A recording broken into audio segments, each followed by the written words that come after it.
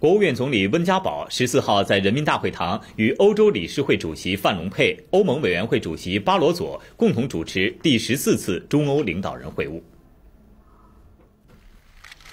温家宝表示，近年来在错综复杂的国际局势中，中欧关系总体平稳向前发展。双方从战略高度更加重视沟通与合作，利益融合日益紧密，贸易和投资大幅增长，科技、能源、环保、金融、人文等领域的交流合作不断拓展。在应对气候变化、改善全球经济治理、推动可持续发展等重大议题上，协调配合进一步加强，扩大了共识，维护了共同利益。温家宝指出，当前国际金融危机对世界政治、经济、安全的深层次影响继续扩大，各国加快自身改革，广泛参与国际合作成为时代潮流。中欧要更加深入的相互理解和支持，以创新开放的思维扩大务实合作，共同致力于营造和平安全的国际环境，推动全球战略格局继续向着多极、均衡、稳定方向发展。温家宝提出。中欧要共同努力，扩大相互投资，尽早启动投资协定谈判，促进双边贸易平衡、可持续发展，充分开发市场潜力，妥善处理分歧，争取共赢局面。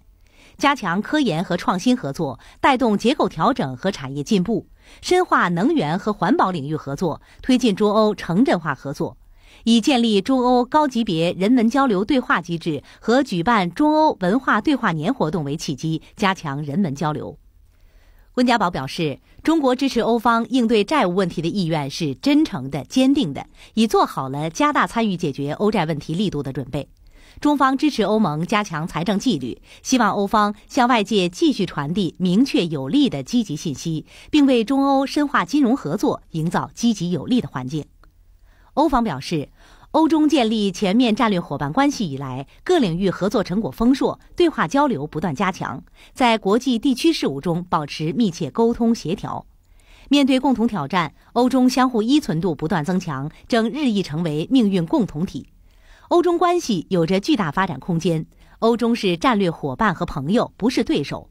欧方主张面向未来，摒弃零和游戏，增进互信，实现双赢。愿与中方扩大贸易、投资、科技、能源、环保、人文等领域合作，推动欧中关系更上一层楼。